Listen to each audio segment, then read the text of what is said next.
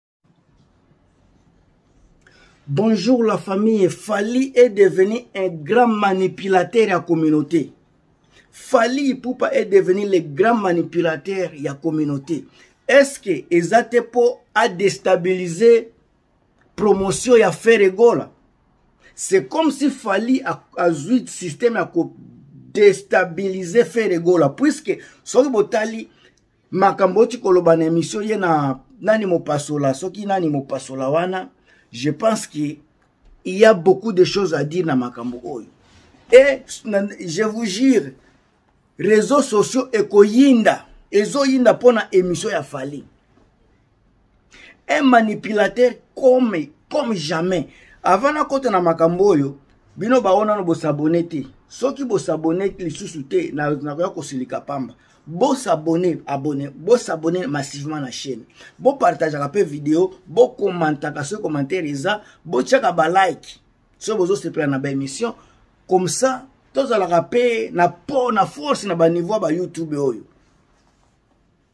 pourquoi nabengi fali ipupa un grand manipulateur na bamusicien tu ya congo le grand manipulateur kokóma na niveau niveau ya kodestabilize ya koya koloba makambo ya tatouage na ye pourkui alongolaki tatu aza koloba ke la, ye bapapa bazalaka banzambe na bamama banzambe soki boza na problème na mwasi na yo j'ai toujours dit pourquoi oza kokotisa bana na kati mwana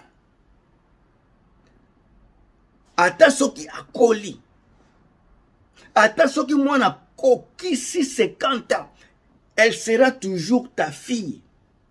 elle sera toujours ta fille yango omonaka e moto azokende kobalisa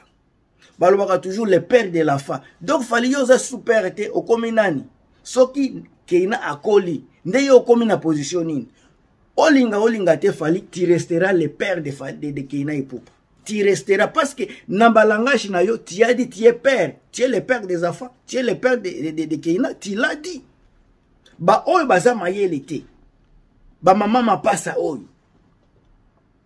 nde bakoya sika na ba analyse ya kibebe analyse ezanga fondement puisqu'ils ne comprennent pas même le langage du corps bageste oyo fali pupa aza kosala na émission wana fali azolukisa base motife na ye eza na fondema te eza motife ya bana moke parce que un monsieur akokufaka jamais parce que mwana aza na kofi soki boswani na mwana okoloba na bwakisi yo nani moto abwakisaka mwana Ce ne sont pas, ce ne sont que les papas moins intelligents, les papas qui ne réfléchissent pas beaucoup, les, les parents qui réfléchissent jusqu'à au, au, au longueur de leur nez, bangonde balobaka biloko ya boye. Sinon, un monsieur qui est, qui est, euh, qui a appris, qui est parti, qui s'est levé tôt le matin pour aller à l'école, encore ba langage ya boye te. bokoyoka sika réseaux sociaux les abrutis bato batanga te bato baza na mayele te bakoya kofinga esu kei na epupa juste parce que bayoki langage ya un manipulateur se c'est dommage c'est dommage soki nikimenga alobaki papa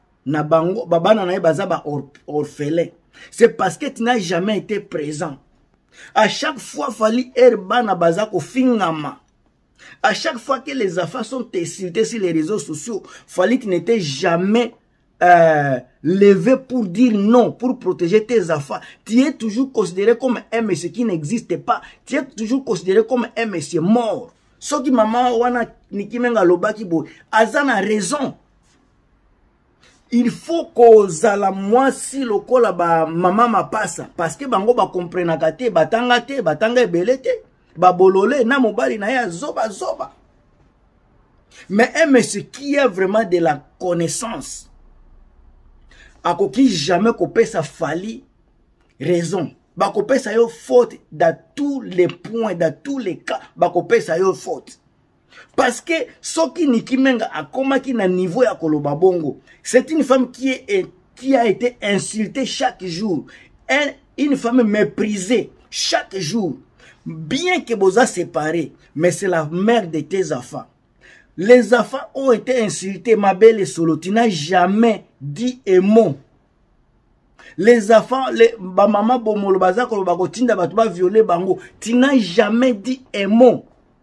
atake papa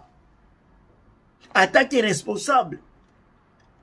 me buzoba ya pamba pamba nde oza ya koloba biloko ya pamba pamba e, esika bafingi mpe mutu te me oye na makambo ya buzo ya pamba pamba kolobake moto akufa atambolaka na tatu te me tozomona ozovivre soki bango baza kozela okufa lakisaki oza vivant kasi soki omoni ke bango bazoloba ke okufa lakisa bango ke oza vivant prouve bango le contraire ke oza viva tondima yo parce que c'est ça kozala mobali mobali aza mutu oyo asalaka makambo ya defi lakisa bango ke oza papa ozali mpe okozala eh monsieur olamuki kaka boye de nil part soki omelaki bajamba na yo okomi koloba biloko ya boye fale oyebi ke okoki kokangama kaka boye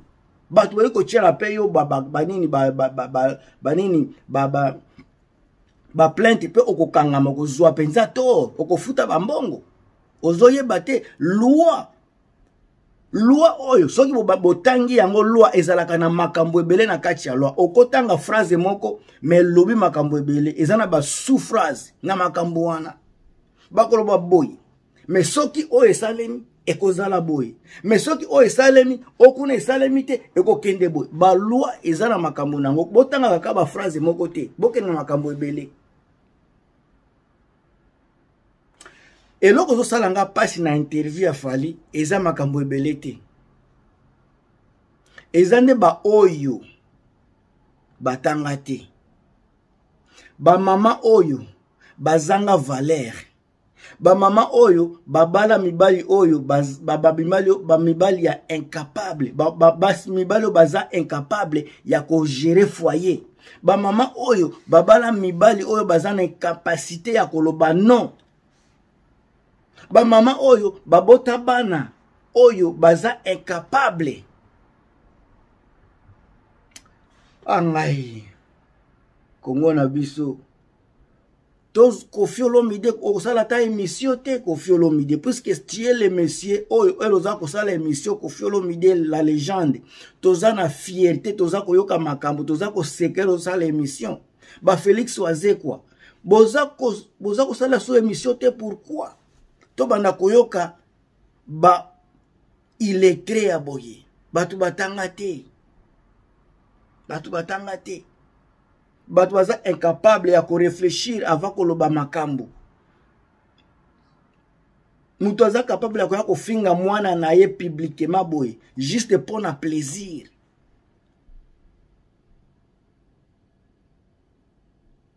un monsieur qui n'est pas capable d'être là avec ses enfants mais aza capable ya kolekisa bata na ye na bahotel kosakana sakana pendant que les ses enfants sont en train de deambule na bareseau sociaux